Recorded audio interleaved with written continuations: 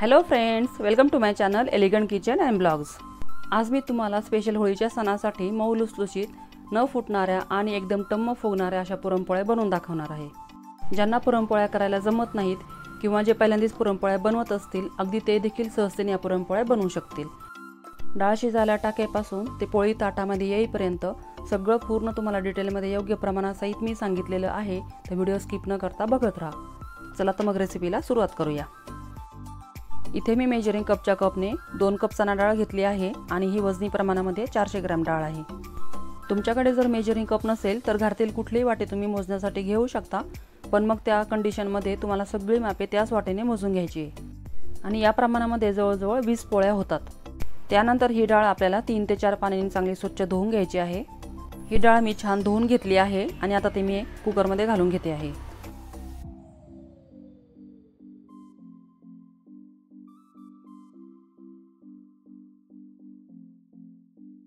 त्यानंतर आपल्याला एका कपसाठी अडीच कप पाणी घ्यायचे आहे. मी इथे दोन कप डाळ घेतली म्हणून मी ते पाच कप पाणी घेते.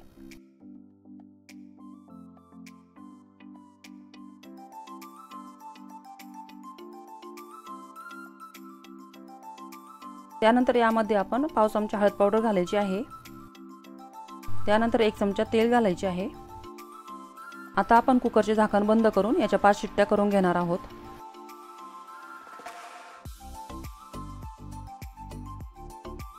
कुकरच्या शिट्ट्या होईपर्यंत आपण पुरणपोळीसाठी लागणारे कणिक मळून घेऊ. इथे मी एका मिक्सिंग बाउलमध्ये चाळणी ठेवली आहे आणि आता त्यामध्ये मी दोन कप गव्हाचे पीठ घेते. त्यानंतर दोन कप गव्हाच्या पिठासाठी आपल्याला इथे एक कप मैदा घ्यायचा आहे आणि आता आपल्याला हे पीठ चाळून घ्यायचे आहे.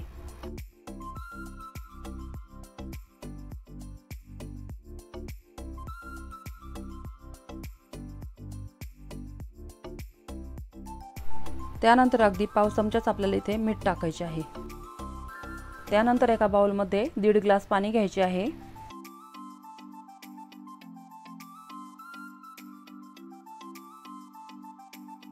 त्यानंतर या पाण्यामध्ये अगदी पाव चमचाच आपल्याला हळद पावडर टाकायची आहे आणि याला मिक्स करून घ्यायचं आहे. याप्रमाणे जर तुम्ही पाण्यामध्ये हळद पावडर मिक्स करून घेतली तर ती आपल्या कणकेला सगळीकडे एकसारखी लागली जाते आणि आपल्या पोळीला हलकासा छानसा पिवळा कलरही येतो. त्यानंतर या पिठामध्ये आपल्याला दोन चमचे तेल घालायचे आहे. अगोदर आपल्याला हे पीठ हातानेच याप्रमाणे कोरडेच मिक्स करून घ्यायचे आहे.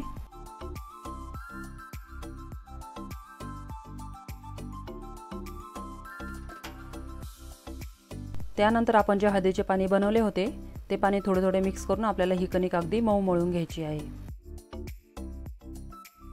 नॉर्मल पोळीसाठी आपण ज्याप्रमाणे कणिक भिजवतो त्यापेक्षाही सॉफ्ट असलेली कणिक आपल्याला इथे मळायची आहे.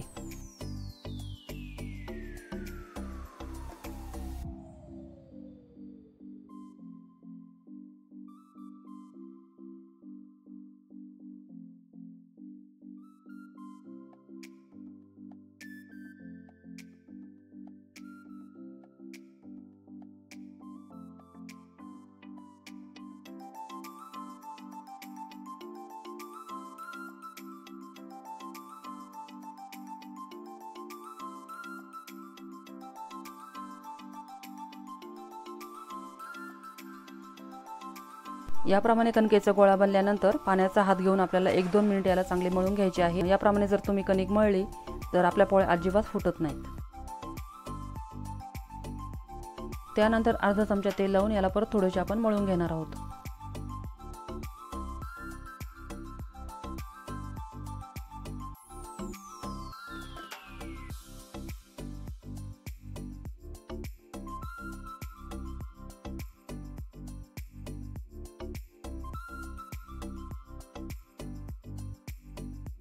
हे बघा आपली कणिक किती छान मळून झाली आहे. आता आपण यावर झाकण ठेवून याला साईडला ठेवून देऊ. इकडे आपल्या कुकरच्या शिट्ट्या पण होत आहेत. कुकरच्या पाच शिट्ट्या झालेल्या आहेत आणि आता मी गॅस बंद करून याला आपण नॅचरलीच थंड होऊ द्यायचं आहे आता आपला कुकरही थंड झालेला आहे. आता आपण तो उघडून बघूया.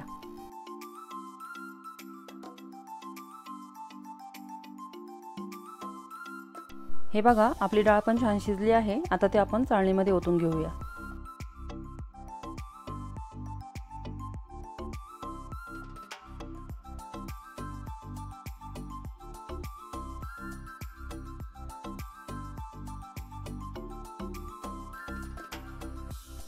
इथे मी एक मोठ्या आकाराची कढई घेतली आहे आणि आता त्यामध्ये मी ही डाळ काढून घेते आहे.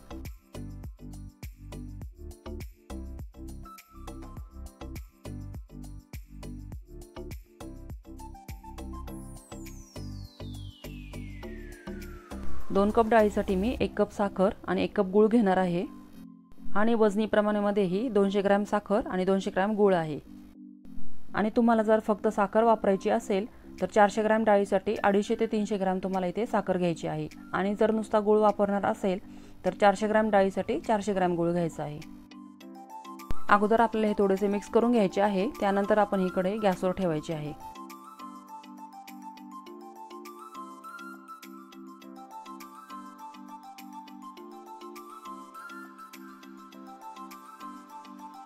सुरुवातीला हे मिश्रण थोडेसे पातळ होईल पण जसजसे आपण ह्याला परतत जाऊ तसतसे हे घट्ट होत जाते.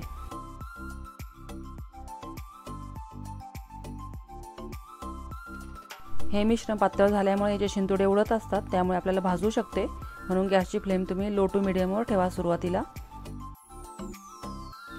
याप्रमाणे कंटिन्यू हलवत मी याला आता चांगले परतून घेते.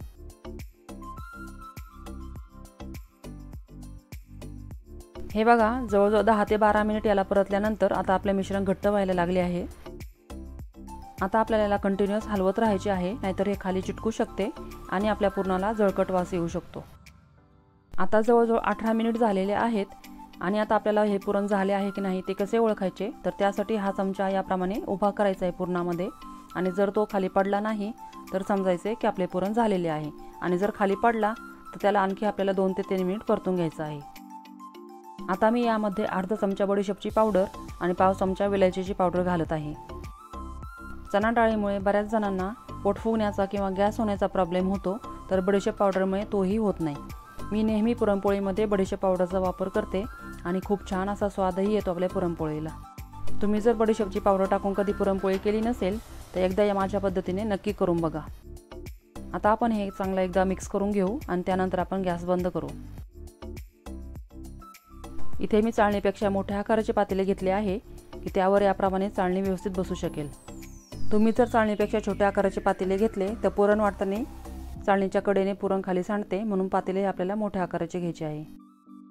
आता यातले अर्धे पुरण मी चाळणीमध्ये काढून घेते आणि राहिलेले अर्धे पुरण मी झाकून ठेवते.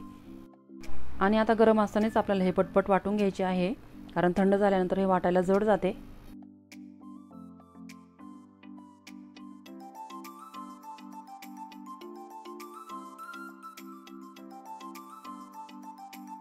हे बघा अगदी पाचच मिनिटामध्ये माझे सगळे पुरण वाटून झालेले आहे. आणि आता चाळणीच्या मागच्या साईडने लागलेले पुरणही आपण याप्रमाणे काढून घ्यायचे आहे.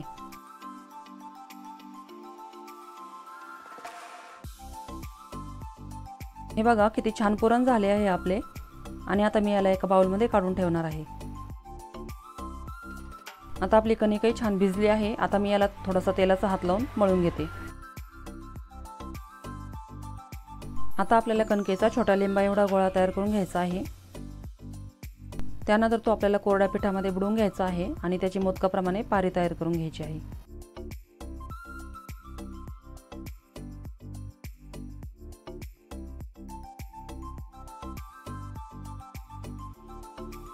त्यानंतर पुरणाचा आपल्याला कणकेपेक्षा थोडा मोठा गोळा घ्यायचा आहे आणि तो या पारीमध्ये आपल्याला दाबून भरायचा आहे.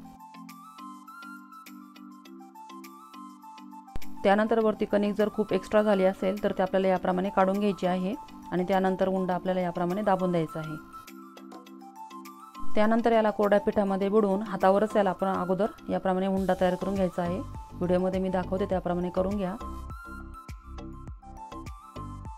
त्यानंतर हा उंडा पोळपाटावर ठेवून वरून थोडेसे कोरडे पीठ टाकायचे आहे आणि हाताने याप्रमाणे आपल्याला थोडेसे दाबून घ्यायचे आहे पसरून घ्यायचे असे केल्याने आपले पुरण जे आहे ते अगदी काठापर्यंत पसरले जाते एकसारखे आणि त्यानंतर आपल्याला पोळे हलक्या हाताने दोन्ही साईडनी लाटून घ्यायची आहे. एका साईडने पोळी लाटायची नाही आहे दोन्ही साईडने लाटत अलटीपलटी करत आपल्याला ही छान लाटून घ्यायची आहे हलक्या हाताने. तुम्ही जर पोळी एका साईडने लाटली तर पोळीला कणिक ही एका साईडने पातळ राहते आणि एका साईडने जाड राहते. म्हणून पोळी आपल्याला दोन्ही साईडने लाटून घ्यायची आहे.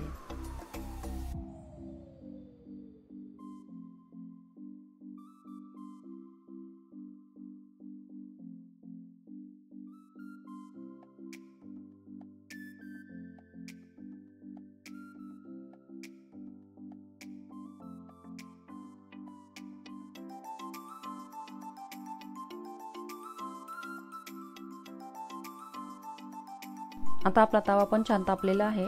आता आपण त्यावर पोळी टाकून घेऊ. आता आपल्याला पोळीला पलटी करायची घाई करायची नाही आहे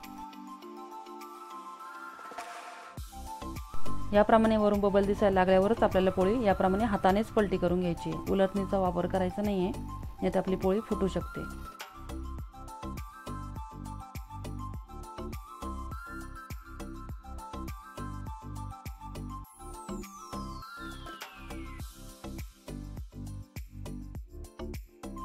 आणि आता पोळी पूर्ण फुगल्यावरच आपल्याला त्याला तेल किंवा तूप लावून घ्यायचे आहे. मी इथे तूप लावत आहे.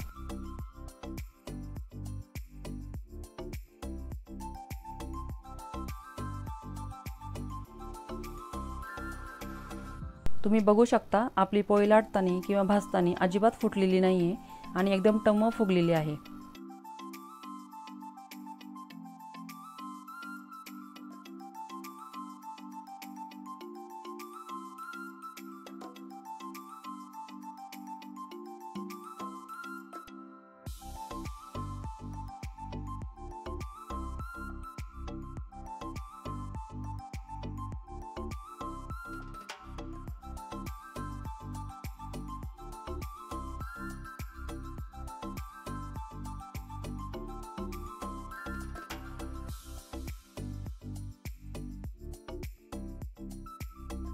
अगदी कापसासारखी मऊ लुसलुशीत अशी आपली पुरणपोळी तयार झाली आहे.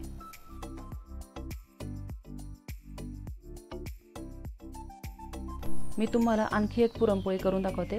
परत एकदा बघा तुम्ही.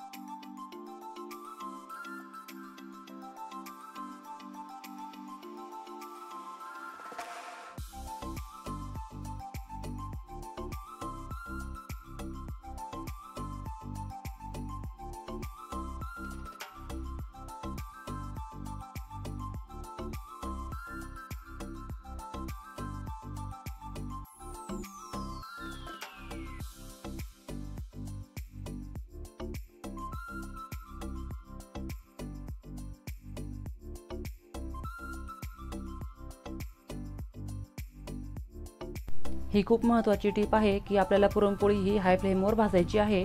जर तुम्ही गॅसची फ्लेम लो किंवा मिडियम काढाल तर तुमची पुरणपोळी ही कडक होईल किंवा ती वातड पण होऊ शकते.